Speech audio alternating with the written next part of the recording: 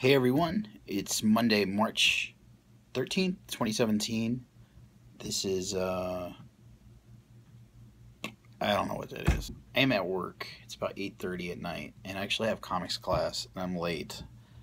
But, I'm late for a good reason. This is sort of like do or die moment for me. I've been stuck on the script all week. Every time I sit down to do it, I just get I'm just stuck. I'm stuck. Anyway, so I'm here at work and uh, I finished up my work a little bit early. I'm staying late to work on some page layouts for my script. I got two really solid pages written and laid out, and I like it a lot. So, just a little glimpse. I don't want to share too much of the story, at least for these pages, because um, yeah, I think it's going to end up going into a book. I want to leave something for you guys to be surprised by. It's uh, it's really a relief. Breaking a story is the hardest part. When it finally like pops out, it's it just uh, such a huge relief. All right, I'm gonna head to class. I got back from class a couple hours ago. I'm about to go to bed, but I wanted to do a little update before I went to bed. I'm really excited. I feel like I've had a breakthrough.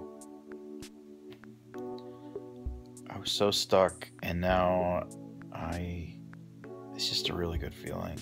When you open yourself up to creativity, you open yourself up to all the like muses and inspiration and stuff, but it it also lets everything else in at the same time. Every one of your absolute worst fears and all your your demons and anxieties, they all come in at the same time. There's all that inspiration, and it's really easy to just get overwhelmed and want to kick everything out and close the door again.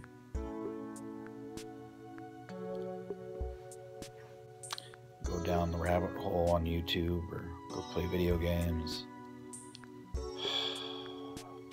I am determined to stick with it this time.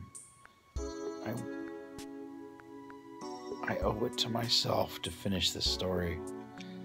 To finish a story. it's been. I can't tell you how long I've wanted to finish a project. So, thanks for sticking with me on this journey. I hope you're enjoying it too. I'll see you guys tomorrow. Keep smiling.